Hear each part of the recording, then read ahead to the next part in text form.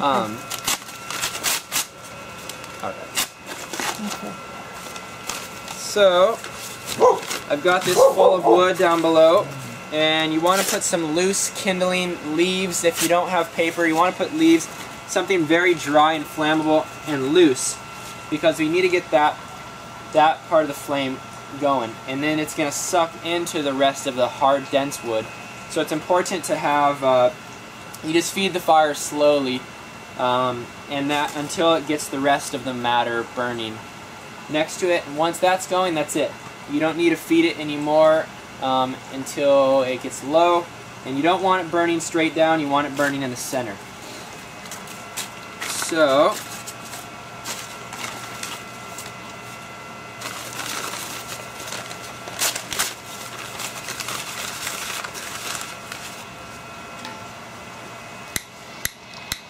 course the lighter doesn't work. There we go.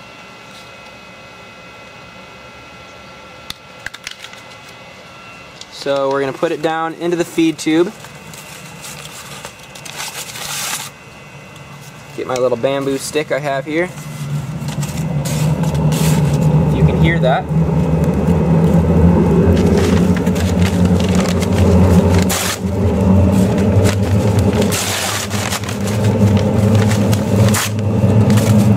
That is the heat, the fire being sucked through the system, creating that noise.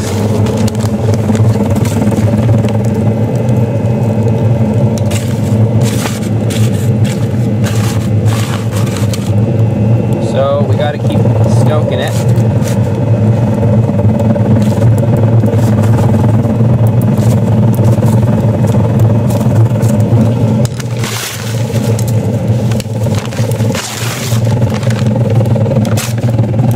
So s- sounds like it's starting to light the wood and other debris, the other kindling here in the center now.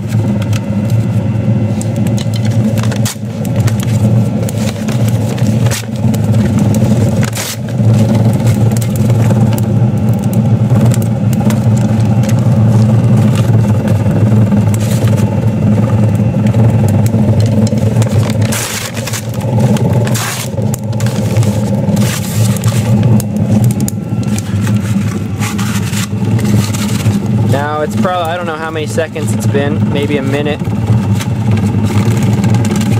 And in just that matter of time, this is already probably too hot to touch. That just shows how quickly these heat up, how hot it burns inside. And now this particular feed tube, you're looking at maybe, I don't know, looks about, I think it's about 12 inches. Um, maybe a little longer.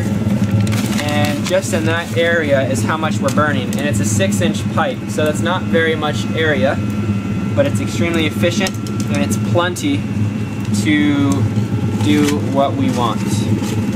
Now, what you put in there, how long will the how long will the heat last with this that you've just added? This little bit With of wood. With just this amount of wood, it's probably gonna um, burn solid for maybe a couple hours, one to two hours, I think. I'm still documenting, I'm still experimenting. Okay.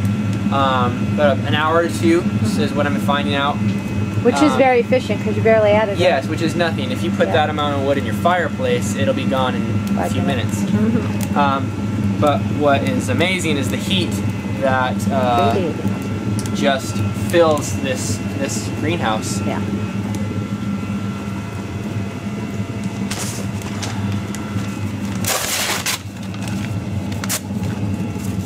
So I probably don't need to add any more. I still I hear the fire going, but I just like to get it extra hot. Make sure it definitely has a coal base going. Make sure it's already burning efficiently before I leave it. But that's basically it. Um, and this is going to, like I said, you feed it, it burns right here, heats up this entire area. It basically creates a vortex of, uh, because of the suction from the piping outside the greenhouse. And it's going like this down into the other tube in the ground and over. And it's just heating up this entire area. And once the, once the thermal mass heater's been burning for a while, um, it gets so warm that even the ground is warm. The sand is warm, and that's perfect for germinating seeds.